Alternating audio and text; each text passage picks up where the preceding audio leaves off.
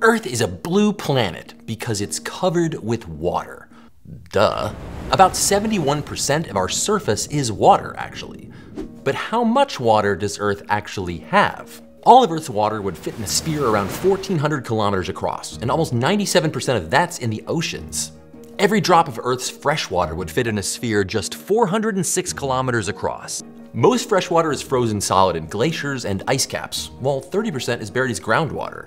And just 0.3% of fresh water is on Earth's surface in lakes and rivers. Almost all the water that people and other life on Earth need every day comes from this tiny speck just 56 kilometers across a tiny 0.007% of all the water on Earth. But what about the air?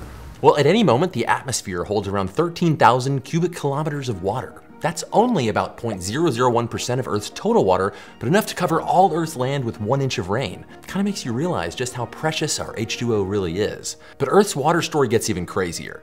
Using seismic waves, scientists found an underground water source three times larger than all surface oceans combined. More than 400 kilometers into the mantle, this water exists at more than 1,000 degrees Celsius under crushing pressures. And it's not liquid, it's locked in minerals. This discovery hints at a sort of whole Earth water cycle, where water moves between the surface, atmosphere, atmosphere and the mantle over huge time spans. But our planet isn't the only place we find water.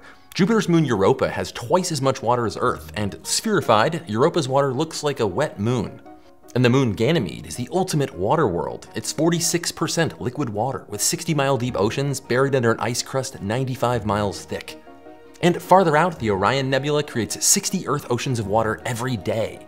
And the largest reservoir of water in the universe is a cloud around a quasar that holds 140 trillion times Earth's water. So water isn't rare in our universe. What is rare is finding it on the surface of a planet like ours, in liquid form where life can actually use it. Kinda makes you think. Follow me for more cool science stories.